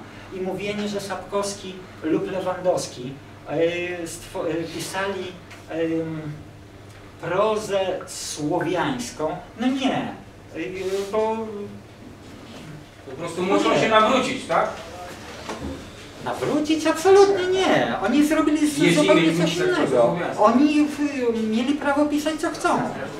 Yy, To ich sprawa, co oni piszą. Natomiast nazywanie ich pisarzami słowiańskimi jest bez sensu, bo yy, to tak jak ja bym napisał powieść, w której wziąłbym z mitologii yy, ludów peruwiańskich kilka rzeczy yy, i nazwano mnie pisarzem peruwiańskim. Tak, to w takim razie ja teraz otwieram część na zadawania pytań i pozwolę sobie e, dwie uwagi i jedno pytanie e, tutaj rzucić do naszego, do naszego jestem, prelegenta. Pierwsza uwaga to jest taka, że częściowo upadek, ja bym czytelnictwa tutaj naszego e, historycznego no, wiąże się też z e, obniżeniem jednak poziomu kultury humanistycznej e, w wyniku trzeba nazwać, no, upadku humanistyki w szkole średniej. Tu mówię jako nauczyciel z 10-letnim stażem. Były, były już nie, nie, nie, nie praktykujący, ale reforma, uczyłem historii w szkołach, tak? I reforma oświaty, wprowadzenie trzyletniego gimnazjum, no podcięła tak naprawdę możliwość nauczenia czegoś e, głębiej, także nie tylko o średniowieczu oczywiście, ale także, także o średniowieczu, bo po prostu bardzo prozaicznego powodu nie ma na to czasu, to tak najkrócej. Pomijając inne względy, oczywiście są też inne względy, o których długo by tutaj mówić, ale nie ma na to czasu. Poloniści z kolei, którzy też e, mają tego czasu mniej, też pewnych rzeczy nie są w stanie nauczyć i teraz podsumowując tą uwagę, pamiętam jak młody człowiek przeczytałem te sześć tomów Gołubiewa, Bolesław Krobry, które jak Państwo zapewne wszyscy wiecie, są napisane celowo językiem archaizowanym. On jest tam dość sztu- sztucznie archaizowany, ale generalnie jest tak, że jest to polszczyzna, która jest powiedzmy do XVI wieku, prawda? Yy, Gołubiew tak się starał, żeby niewiele, niewiele było późniejszych, niewiele było późniejszych słów. Yy, Ja przez to przebrnąłem, także dlatego, że miałem ze sobą jakieś tam lektury polszczyzną, staropolszczyzny, tak? Młody człowiek dzisiaj, nawet gdyby miał szczerą wolę, no Nie przejdzie przez raczej przez to nie przejdzie ze względów czysto językowych. Już pomijam wszystko inne. Czysto językowych. Jak będzie miał trening z staropolszczyzną, to przejdzie, ale najpierw potrzebuje tego treningu, a potem ewentualnie on to przeczyta, tak? Więc to jest, to jest taka rzecz, którą trzeba tutaj, tutaj powiedzieć i, i tutaj nie jest to wina powiedzmy nauczycieli czy, czy, czy popularyzatorów historii, jest to wina oczywiście tych ludzi, którzy wymyślili reformę oświaty polskiej, tak? I pogrążyli humanistykę na poziomie, na poziomie średnim. To jest taka uwaga pierwsza. Uwaga druga, no pewne rzeczy jednak o powiedzmy militarnym aspekcie tworzenia państwa polskiego, one się przebiły dość do popularnej, nazwijmy to tak, literatury. Przecież e, teza, znaczy nie teza, no bo to jest, uchodzi za jednak udowodniony fakt, podbój militarny Mazowsza, e, ja czytałem także, już nie pamiętam w jakich opracowaniach popularnych ze 30 lat temu, prawda? Bo to jest kwestia nawet tego, że w ramach badań milenijnych odsłonięto tą siatkę grodów, y, która to siatka grodów na Mazowszu, jak wszyscy wiemy, jest na 25-30 km. Co to jest średniowieczu 25-30 km też wszyscy wiemy, prawda? Jeden dzień drogi oddziału konnego. Plus minus. Siatka zamków krzyżackich przecież na obszarach pruskich, tych kolonizowanych obszarach też była dość, na, na dość, dość, dość, podobnej, dość podobnej zasadzie. Także pewne rzeczy się powiedzmy przebiły, jednak nie jest może z tym tak, tak najgorzej. E, I e, jedno e, pytanie teraz do naszego prelegenta. Czego według Pana potrzebujemy, żeby nasza przeszłość zawładnęła, czy jeśli nie zawładnęła, to przynajmniej zajęła poważne miejsce w kulturze masowej, żeby nasza wyobraźnia masowa nie była kształtowana przez e, McDonalda, Miszkę Miki i Asterixa. Zaznaczam, że nie mam nic przeciwko Asterixowi czy, czy Miszce Miki, ale, ale, Lubię Asterixa. I maszkeniki też bardzo lubię. ale żeby oprócz nich było coś jeszcze naszego, tak? Pieniądze. E, e, Pieniądze są rzeczą niezbędną zarówno do wykształcenia prawidłowego systemu, nowego systemu szkolnego. E, On wymaga pieniędzy, nauczyciele wymagają pieniędzy, wszystko wymaga pieniędzy, E, ale też e, pieniądze są potrzebne do tego, żeby ludzie zaczęli żyć na wyższym poziomie. Dopóki y, przeciętny mieszkaniec Polski nie zacznie żyć na, na wyższym poziomie, nie będzie zwracał się ku kulturze. Nie zapominajmy o tym, że kultura, obojętnie w jakim przejawie, czy jest to powieść, czy książka popularno-naukowa, y, czy pójście do kina, czy już mówię o teatru, y, to jest wydatek nadrzędny, który zawsze się od, od, y, odcina, kiedy ma się mniej pieniędzy. Zawsze najpierw będzie się kupowało jedzenie, potem ubranie, gdzieś pomiędzy tym jest zapłacenie mieszkania, a kultura w jakimkolwiek przejawie jest dostępna tylko dla tego, kto ma odpowiednią ilość pieniędzy. Y, Dopóki Polacy nie zaczną zarabiać prawidłowo, ja mówię o masie Polaków, jako całym narodzie, nie będzie rozwoju kultury polskiej. To jest proste. Y, Nie należy też stosować modelu francuskiego. Y, Oni 50 lat temu wprowadzili coś takiego, to państwo socjalistyczne, koszmar, że oni płacą pisarzom, żeby pisali powieści. No jestem liberałem, jeśli chodzi o gospodarkę. Za chwilę. Jestem cho- jeśli chodzi o gospodarkę, nie sprawy społeczne, ale gospodarkę. Y, Każdy ma zarabiać na siebie. Cholera jasna, rynek książkowy ma zarabiać na siebie, nawet w złych warunkach. Jeśli pisarz nie zarabia na siebie, to znaczy, że no po prostu takie są warunki lub jego wina. To samo uważam względem kopalń. Jeśli nie są w stanie zrobić na siebie, no proste, takie uwarunkowania społeczne i ich wina. Każdy z nas zarabia na siebie i jest za siebie odpowiedzialny. Nie można stosować warun- tego, tego, co jest we Francji lub w Szwecji, że pisarz na początek dostaje pieniądze i żyj przez te pieniądze za dwa, przez dwa lata, napisz książkę, a i obojętnie ile ci się sprzeda. Tak nie można postępować z kulturą. Kultura oprócz tego, że musi być dobrej jakości, to jeszcze musi sama na siebie zarabiać, dlatego że pieniądze dane z góry na rozwój kultury nie poprawią jej jakości. Co więcej, ją obniżą, co widać po rozwoju kultury francuskiej w ostatnich dziesięcioleciach, która jest fatalna w porównaniu z, co wiem, bo mam duże związki z kulturą francuską. Ona upadła niemalże. Tak? Pytanie, proszę. Znaczy, ja mam taką uwagę i pytanie, ale nie związane z tym. Znaczy, mi się wydaje, że jeśli chodzi o to słowiaństwo obecne w kulturze popularnej, to warto zauważyć, że jednak ono jest mimo wszystko dość mocno miejscami obecne. I to, ale jest, zwłaszcza warto tutaj zrobić coś takiego, żeby patrzeć jakby nie tylko przez pryzmat kultury popularnej, czy kultury wysokiej, ale jakby zjednoczyć się tym zainteresowanych, bo na przykład, czy to muzyce na przykład poważnej jest, jest cała, no może nie masa, ale jest na pewno parę ciekawych dzieł e, oper rosyjskich, czy baletów rosyjskich. Są, e, są e, jeśli chodzi o taką muzykę, no już nie, nie to, że popularną, ale na przykład subkulturową, są te różne sceny subkulturowe, e, jest e, sceny słowiański metal, wiking metal, rock słowiański i tak dalej. Także to, także na przykład na, na, na etapie muzycznym mi się wydaje, to jest dosyć silnie poruszony temat. Natomiast e, Ale czy on ma w ogóle jakiekolwiek przełożenie na kulturę masową w Polsce? Nie ma. Ma, Kto- ma, ma, ma. Przepraszam, przełożenie na kulturę masową, y, jeśli chodzi o muzykę, y, ma tylko to, co jest promowane w telewizji i disco polo.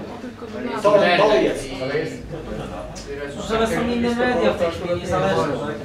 tak? Tak, ich No, słucha. no właśnie, to ile y, procentowo ludzi ich słucha? I to była uwaga, a teraz pytanie. Tak, dziękuję. E, A jeśli chodzi o pytanie, mam taką sprawę.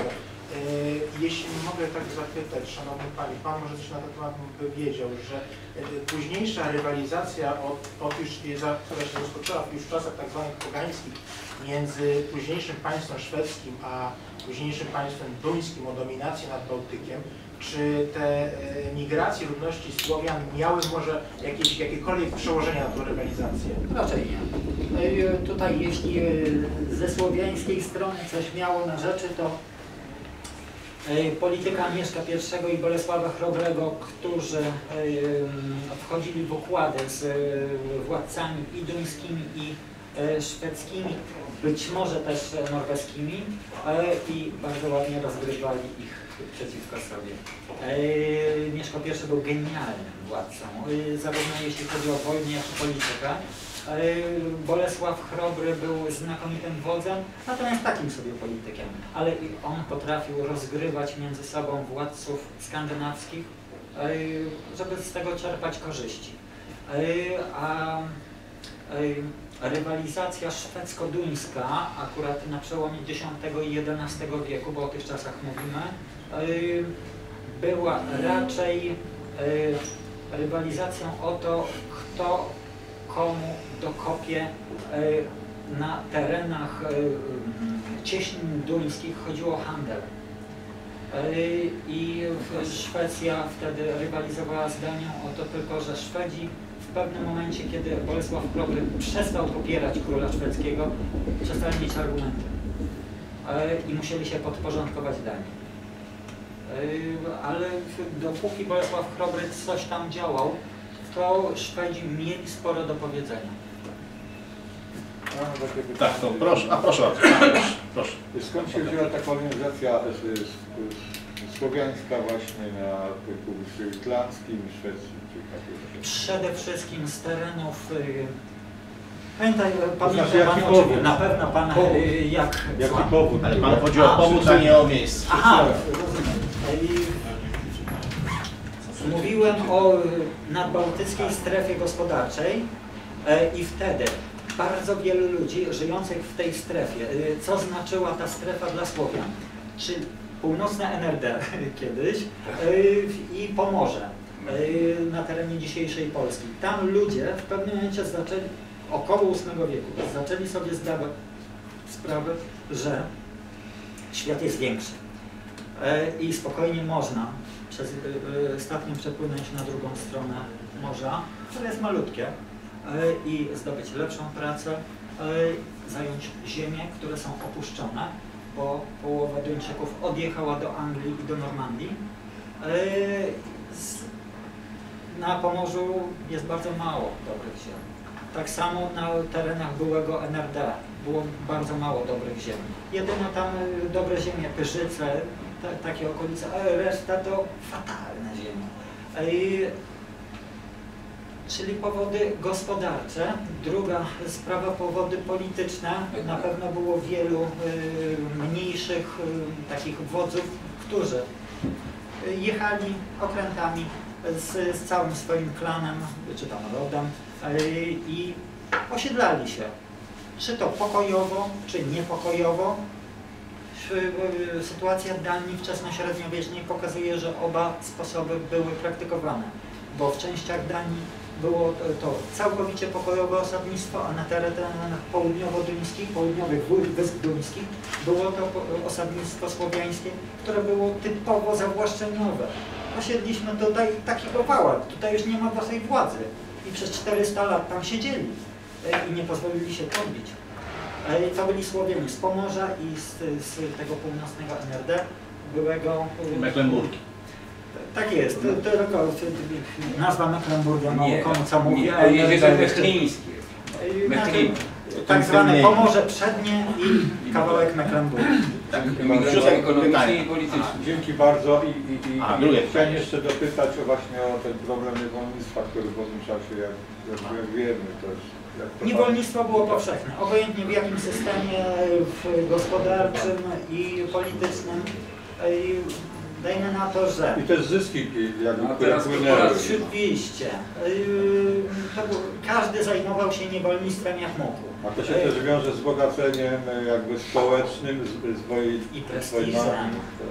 Yy, Dlatego, Niektóre że tereny się wyludniały, yy, po co jedną z.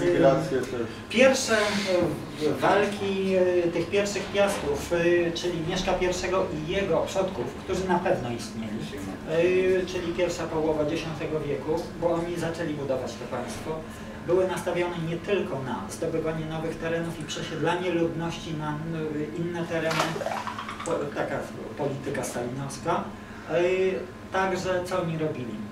No pewnie z jedną trzecią albo jedną, jedną czwartą y, sprzedawali.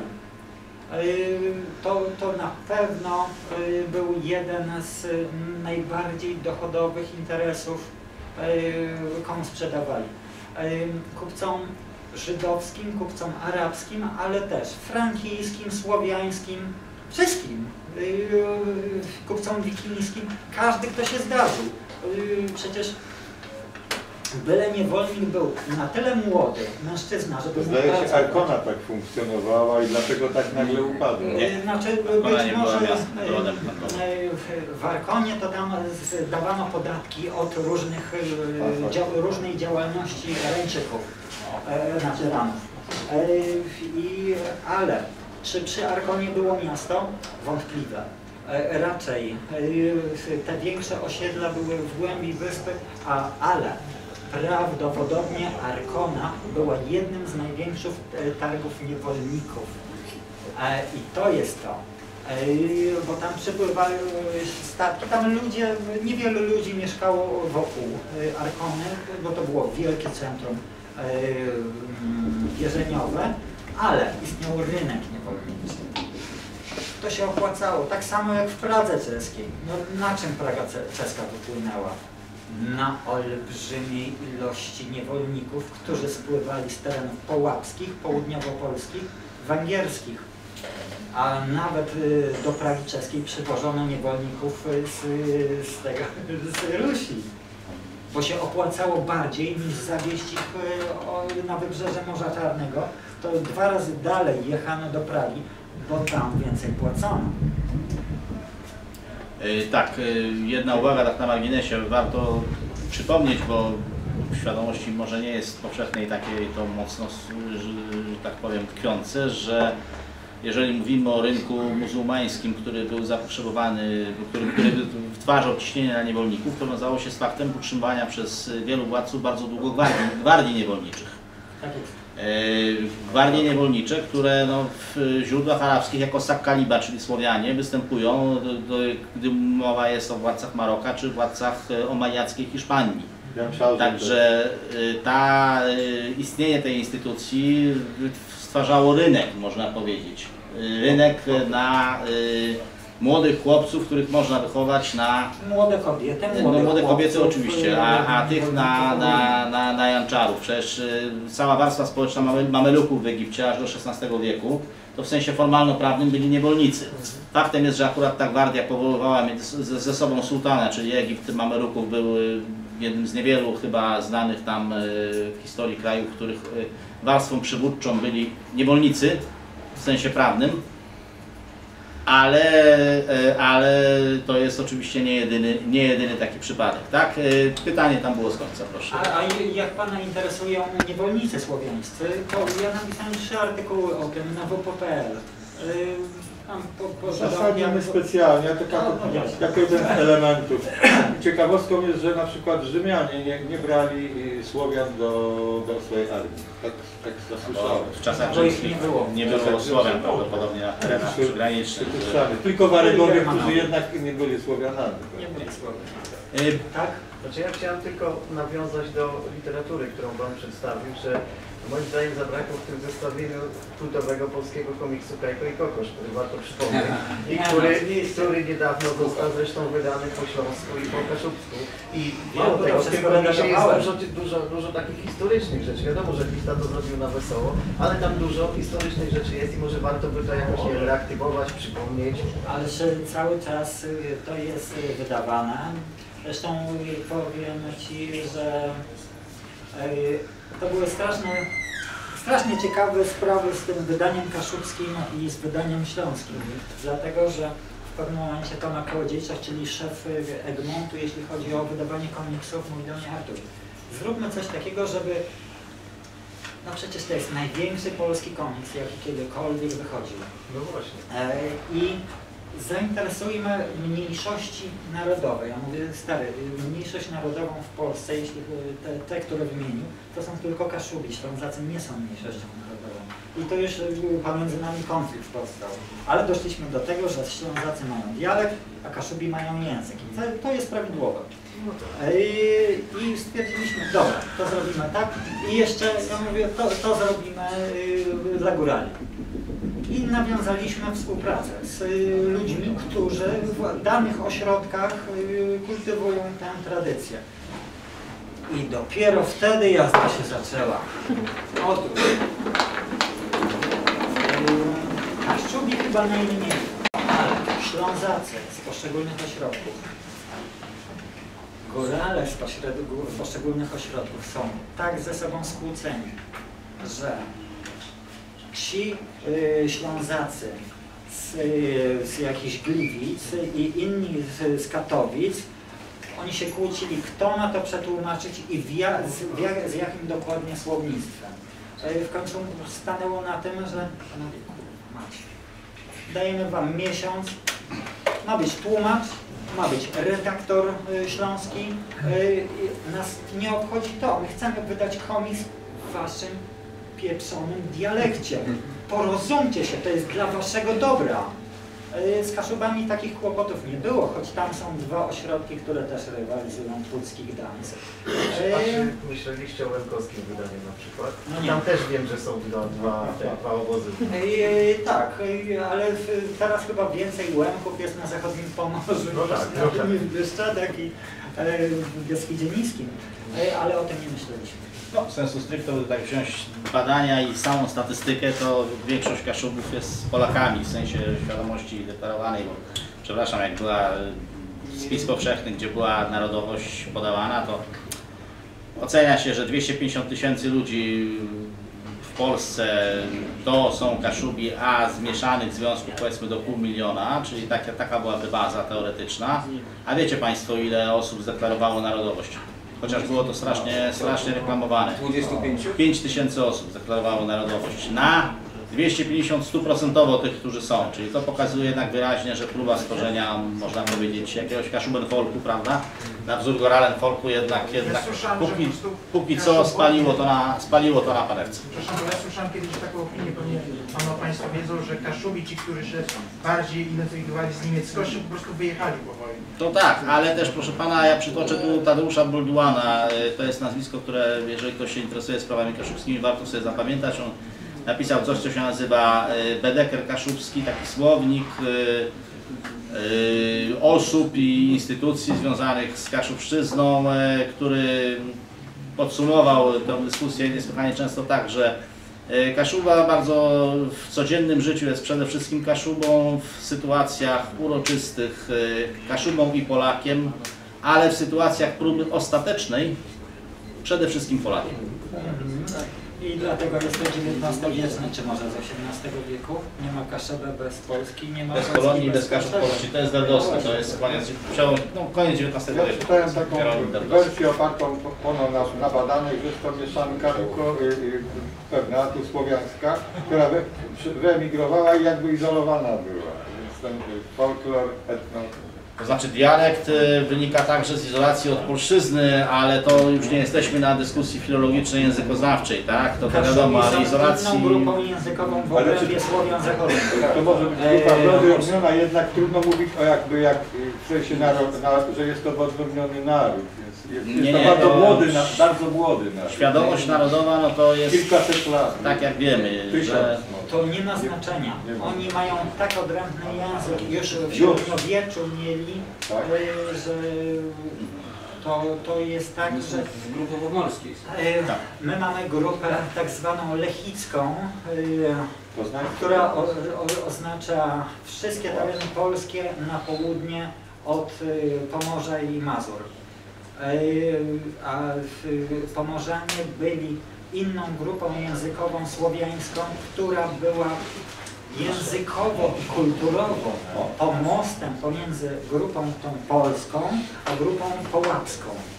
to znaczy, panie Arturze, panie Arturze, przepraszam, sprostuję. tak, tak. Grupa lekicka, o której mówił Ler Spławiński, to jest grupa polska, pomorska i puławska.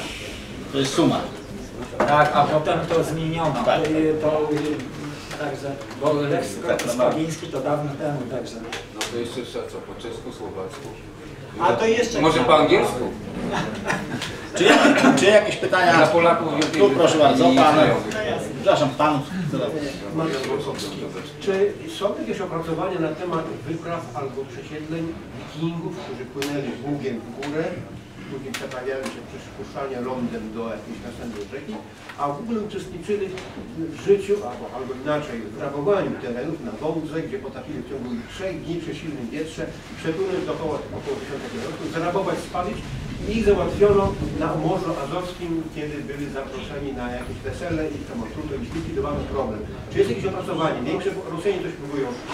Rosjanie to nigdy tego nie zrobią, dlatego że zarządu Putina y, zostało wszystko wstrzymane. Y, Jedyna książka omawiająca w sposób ogólny to została napisana przez Polaka, ten, tego profesora Duczka, o którym już dzisiaj wspominałem, y, dlatego że on 30 lat pracował w Uppsali i miał dostęp do, a to głównie Szwedzi we wczesnym średniowieczu jeździli przez Ruś. Miał dostęp do wszystkich materiałów zarówno w Rosji, jak i w krajach bałtyckich, jak i w Szwecji. Połączył to w książkę Ruś Wikingów. Proszę zapamiętać ten tytuł Ruś Wikingów, dlatego że przez następne 20 lat, dopóki będzie żył Putin, to będzie jedyna książka archeologiczno-historyczna, y, która będzie y, omawiała te sprawy. W tej chwili y, Duczko, jak i większość polskich archeologów i historyków y, jest już niemile widziana w Rosji na zjazdach naukowych, dlatego że oni mówią jasno, że to, co propaganda historyczna e, putinowska mówi o wczesnym średniowieczu Rusi, jest nieprawdą. E, Więc już e, się nie przyjmuje Rosji. W Rosji wychodzą skandaliczne pod względem prawdy historycznej książki o wczesnym średniowieczu Rusi. Dopóki nie umrze Putin, nie będzie prawdziwych książek o Rosji. Chodzi- książkę Państwo Miecława, to była w 1000, y, znaczy 990, 900, gdzie wspominano, że Mazowsze to właściwie tu było pogaństwo jeszcze ze dwa wieki i że jak było, po- jak było powstanie wielkopolskie, to tu się właśnie schowali, skryli. Proszę pana, ja czytałem Państwo Miecława Bieniaka i on właśnie tego nie napisał, co Pan mówi. Te tego nie napisał.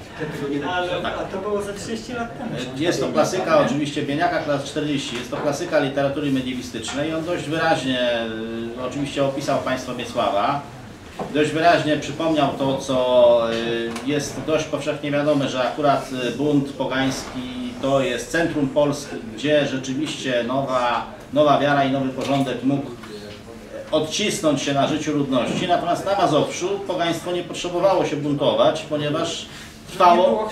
Ponieważ trwało najlepsze, rozumie pan. Natomiast Miecław y, nie był żadnym przywódcą buntu pogańskiego, mm, z- bo z nielicznych danych, o jakich o nim wiemy, że był tym, kim był, to znaczy był członkiem klasy panującej, cześnikiem podobno, tak? A jak członek klasy panującej był jakby z urzędu chrześcijaninem, można powiedzieć, tak? I jakby w całym tym buncie nie, nie chodziło, znaczy były dwa zjawiska, proszę pana. Bunt pogański, ludowy, który był tam, gdzie był i przejęcie przez Miecława władzy na Mazowszu, które jedno z drugim było na pewno związane, tak, powiązało się z rozpadem państwa piastowskiego, ale to nie jest to samo, to są dwie różne rzeczy. Ja bardzo zachęcam Pana do przeczytania książki Bieniaka i tam ma Pan, że tak powiem, wszystkie te hipotezy, te, te hipotezy opisane. Te, te dwa zjawiska wystąpiły obok siebie w czasie, ale były rozłączne. Ale nie w ogóle, chodzi w o ogóle nie wiadomo, czy... wschodni czy zachodni chrześcijaństwo też tam? Nie chodziło o to? raczej nie. To jest hipoteza. A, a po, poza tym wątpliwe, żeby był jakikolwiek bunt podgański, dlatego że w tamtym czasie, czyli lata 30. XI wieku, czyli upadek pierwszego państwa piastowskiego, e, prawie nie było chrześcijaństwa w Polsce. E, można powiedzieć, że było około 10 grodów, gdzie byli chrześcijanie. E, do tamtego czasu nie powstała sieć parafii wiejskich. Jeśli nie ma sieci parafii wiejskich, nie ma chrześcijan na wsi. Chrześcijan, a wtedy chrześcijanie stanowili 99%. Czy mieszkańcy wsi. E, e, e, Tak, mieszkańcy wsi mieszka, stanowili 99% miesz- e, mieszkańców państwa pierwszych piastów. I w momencie, kiedy i, e, następuje rozkład państwa piastowskiego w latach 30. XI wieku, nie może być mowy o buncie pogańskim, no bo, bo wszyscy, prawie wszyscy są poganami.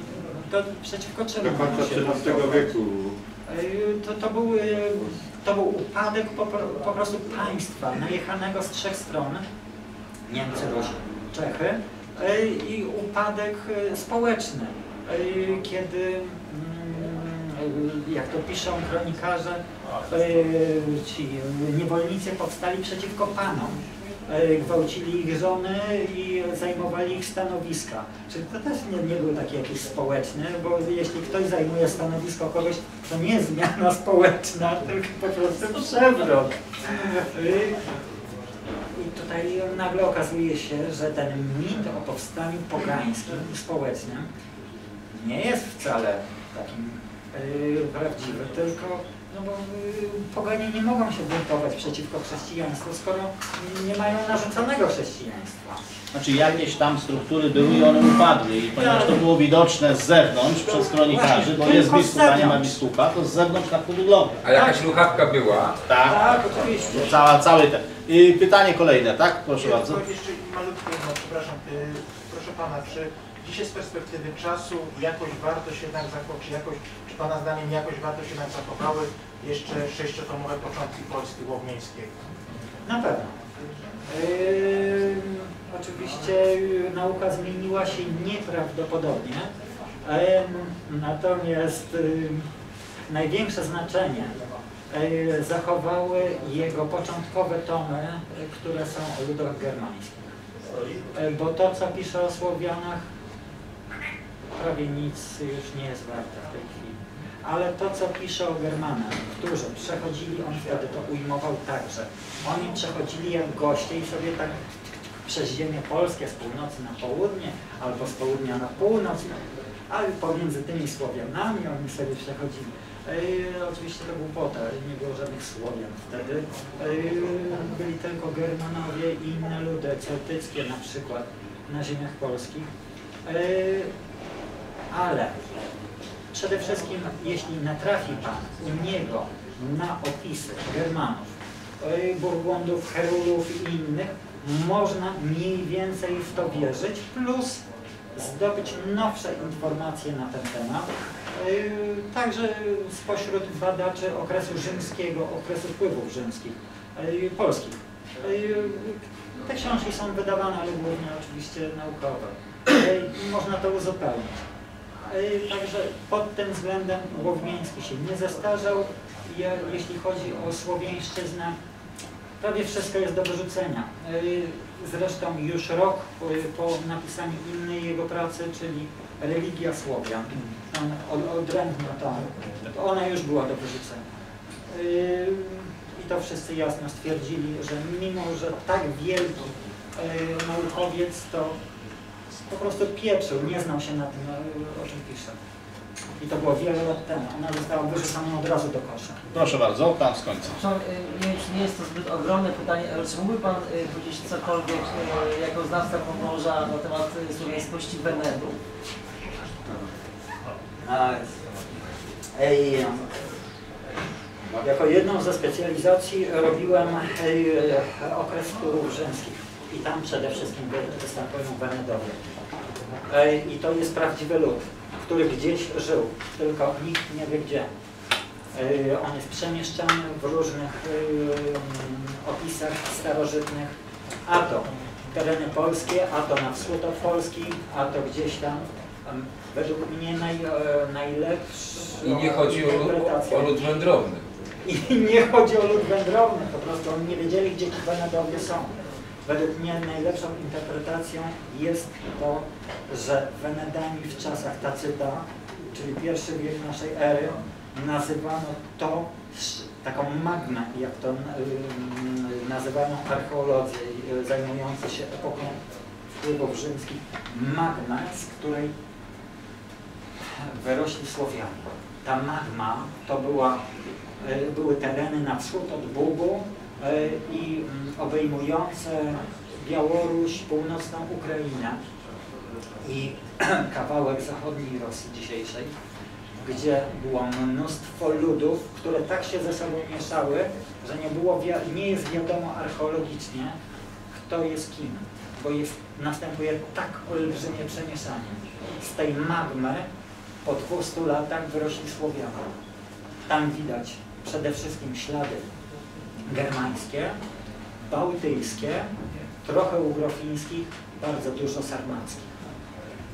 I z tego obszaru wyrośli Słowianie, którzy w, którzy w V wieku ruszyli na zachód. Pan mówi o kulturze zarubinieckiej jednym słowem.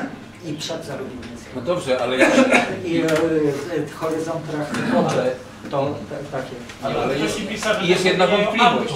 Jeśli, jeśli było, było mieszanie, to skąd się wzięła ta w miarę jednolita haplo- haplogrupa słowiańska? A, to, to, to nie jest też takie Także- proste, to jest zupełnie inna sprawa. Ale teraz wróćmy, yy, bo to, to jest, ym, te ostatnie badania, one też nie są tak proste, jak się wydaje. Wróćmy do Wenedów. Dlaczego Skandynawowie i Niemcy wszystkich Słowian nazywali Wenedowie, Wenetowie? Dlatego... Wenden. Tak, We- Wenden, Windan. Dlatego, prawdopodobnie dlatego, że zachowały y, Skandynawowie jako Germanowie zawsze mieszkali na tych terenach, na których mieszkali.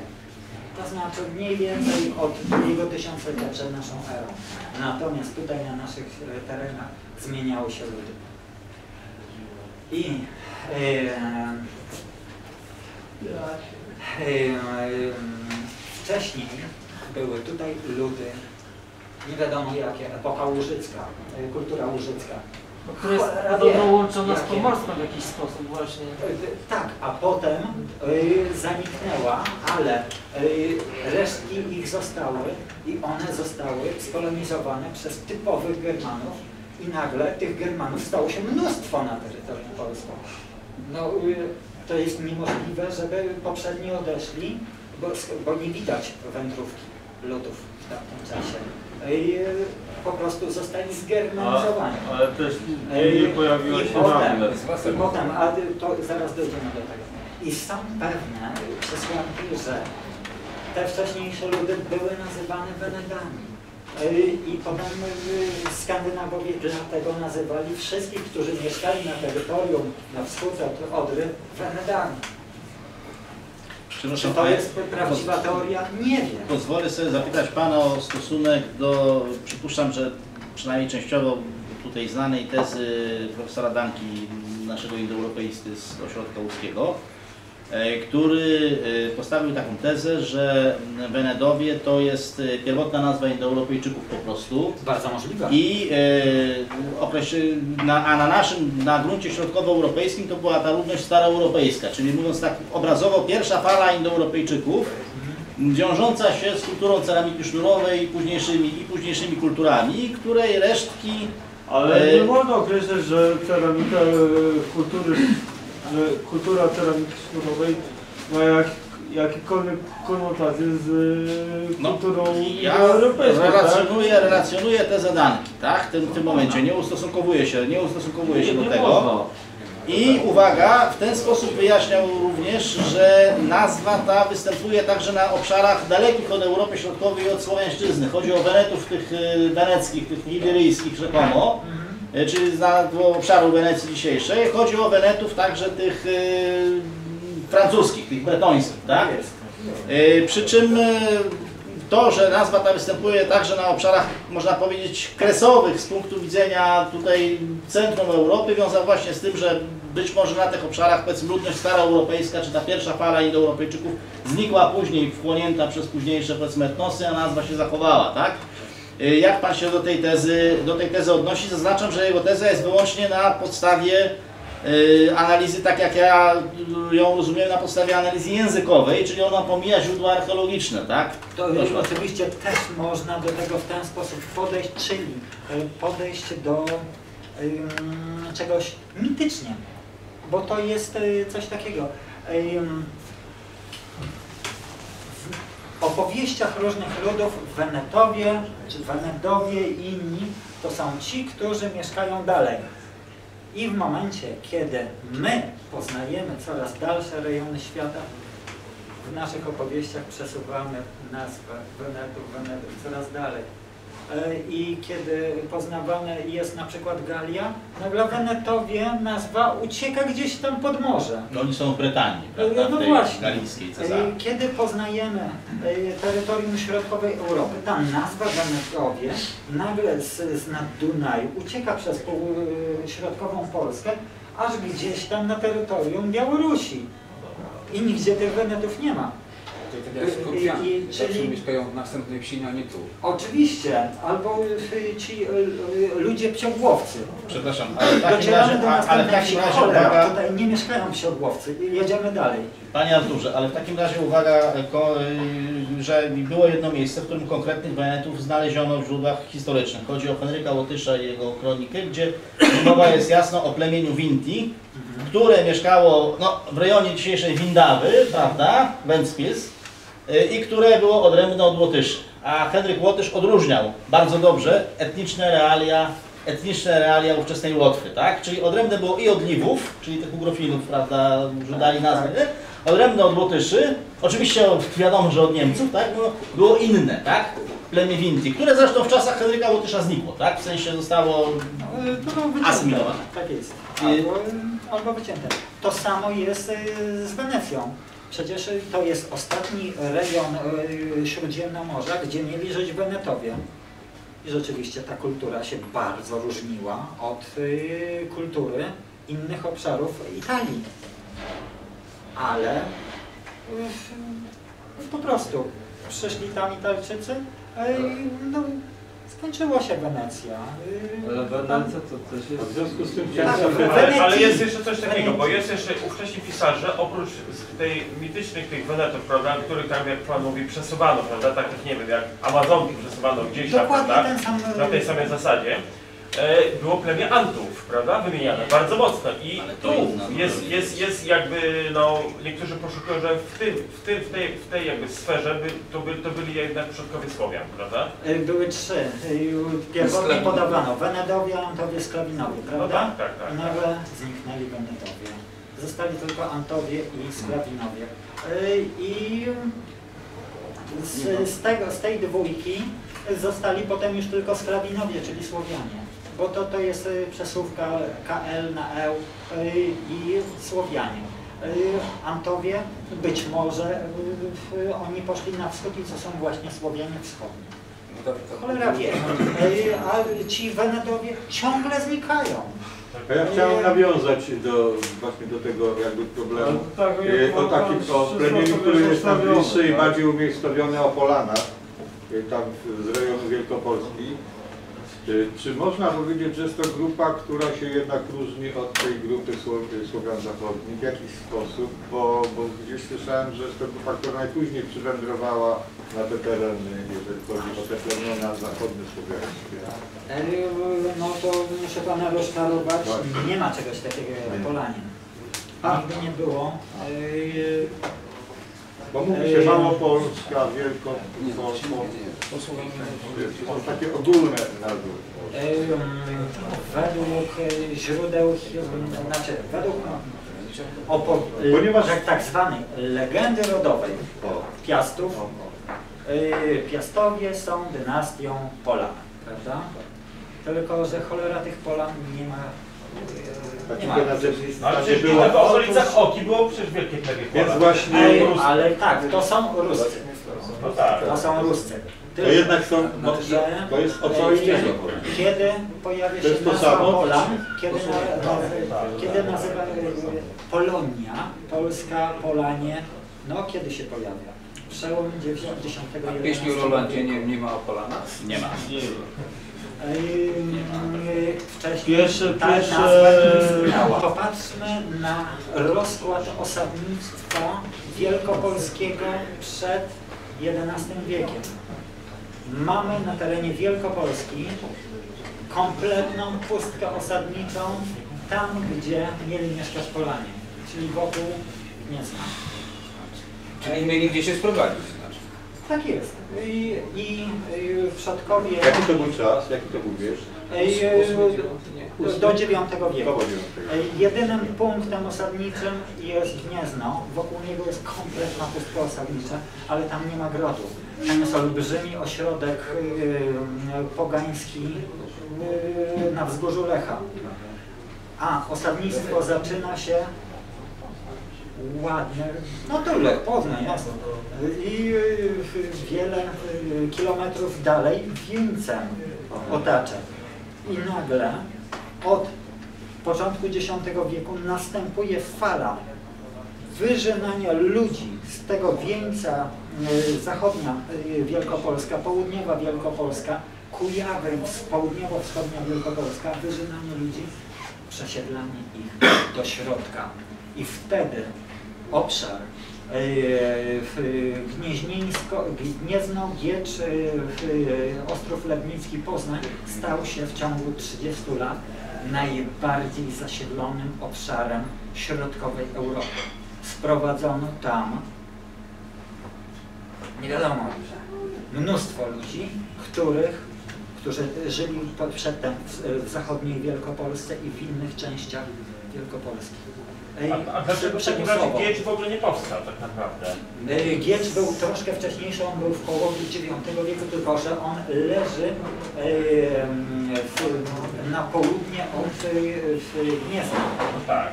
I w Gieczu było, był gród i tam było osadnictwo, ale wokół samego Gniezna nie było tego osadnictwa. I teraz tak, Słowie, Polanie mieli być właśnie tym plemieniem wokół Gniezna.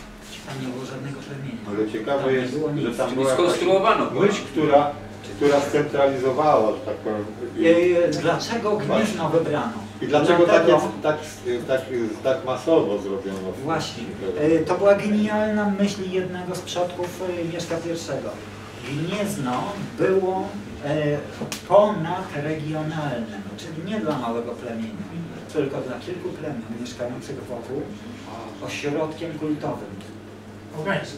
pogańskim, no to Bo jasne. innych nie było. E, I e, w momencie Sekundę, pod- dwa pytania i będzie... Nie wiadomo skąd Tak. są Piastowie.